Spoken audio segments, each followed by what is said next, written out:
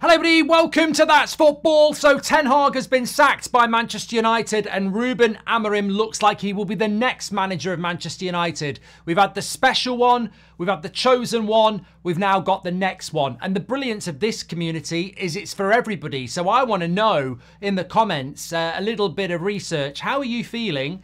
Uh, especially if you're not a Manchester United fan, how are you feeling about this? How do you look at it from the outside in? Because as Manchester United fans, uh, there's a few things that have sort of taken us by surprise. Not that Ten Hag ultimately ended up being sacked, but how quickly Manchester United have acted. This reminds me of what Villa did with Emery. I've mentioned it a few times, where they sacked Gerrard. It wasn't working. They had a manager that they wanted it to work with. They spent money on him. It wasn't working at the start of the season. They sacked him and they went to Villarreal. They paid the release clause. They brought Emery in and they never looked back. Man United looking to do something very similar there. But also, it shocked people on how quick Ineos have acted. But the thing about Ineos is, Sir Jim Ratcliffe is the guy at the top of Ineos. He hasn't got time to uh, wait around. He hasn't got time to just write the season off and give it to an interim. You've got to move quickly, and, and that has been impressive from Manchester United, in my opinion. But have they chosen the right guy? What are your thoughts on that? When you look at Amorim, there was talk of Liverpool's interest that didn't follow through. Was that because of the release clause? I don't know. I think Liverpool fans sounded like they liked the idea of Amorim after Klopp had uh, announced he was going to go, but obviously they ended up with Arne Slot and he stayed at Sporting Lisbon. We also heard that he went to West Ham and they chose Lopetegui. And then we've heard in recent times that Manchester City were looking at him and the huge hints were there. In fact, Man City are playing Sporting Lisbon next week uh, in the Champions League, by which time it looks like Amorim won't even be there for Man City to maybe have a bit of a conversation. Man City will not get Amorim because they've got Pep Guardiola and Pep Guardiola is never going to announce that he's leaving now so that Man City can get Amorim. That's just a timing issue. I think with Amorim, what he's done um, in a short period of time, especially at Sporting, taking them from a club to their first trophy and you know their first title in nearly 20 years is, is is remarkable. And he certainly is one of those hipster managers that we hear about. Like there's plenty of those about and. Manchester United have clearly moved quickly to secure his services. Uh, obviously, there's links to Bruno Fernandes. Ugarte formerly played for Amorim at Sporting. Um, but there are also similarities with Ten Hag. Some Manchester United fans want to refute that. Um, but, the, but you know what? As somebody that backed Ten Hag to the end, I felt a change was needed. Of course, it was obvious that it wasn't going to change around. Um, we are in a yet another similar situation whereby we've gone for a manager from a foreign league who's been very, very successful, who plays modernistic football with a high intensity, a focus on possession, chance creation, high line, etc., etc.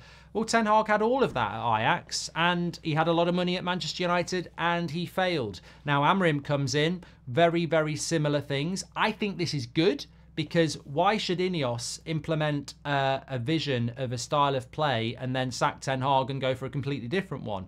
Um, I think it makes sense to bring a manager in that has similar principles, but obviously similar principles doesn't mean he's a Ten Hag clone. It just means that it's another guy being given an opportunity to come into the Premier League with Manchester United and implement his style of play. And for every Ten Hag, there is um, there is a Brighton manager.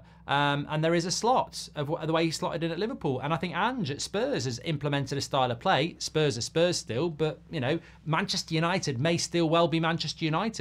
I look at Manchester United honestly, and I think um, Pep Guardiola himself would fail to implement his style of football with that specific set of players. And I think that is something that um, is really prominent for me. Is that you can look at the way Ajax played or the way Man City play or the way that Sporting play, but can you just slot a manager in and play like that. If it, if it was that simple, then everybody would be doing it. You've got to build the structure around, which Ineos are trying to do above the manager, and then you've got to structure it below. What if Amorim comes in and they say you've got to use Ruud van Nistelrooy and René Hake as your coaches? Hold on a minute, they were Ten Hag picks. I need my people.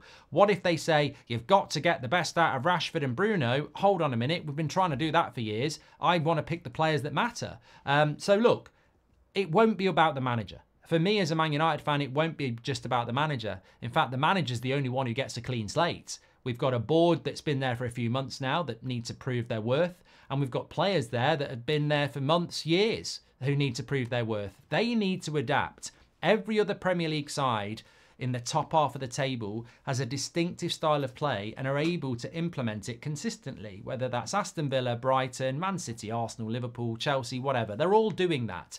Man United are one of the few clubs over the last few years that don't do that consistently. What is the style of play?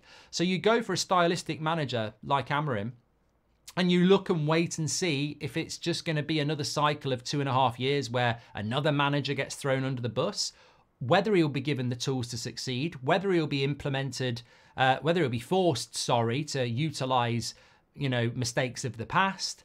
These are the key things. I'm looking at Ineos, I'm looking at the players and I'm looking at what they actually give to Amorim to succeed. Because if we're giving another manager the same old issues, then I think Manchester United will fail. But if we're giving another manager the opportunity to succeed, however he wishes to do that, then I genuinely think change could happen.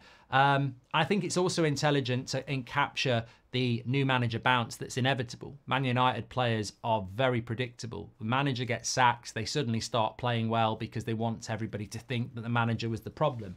But many of us are beyond all that. We expect there to be a new manager bounce, and I'd much rather it happened with the new manager rather than an interim where there is no future in that. So I like the way how Man United have acted quickly. There are no guarantees, there are huge risks. And to me, it really depends on what Ineos' strategy is now that they've got their own man, because Ten Hag was never their own man.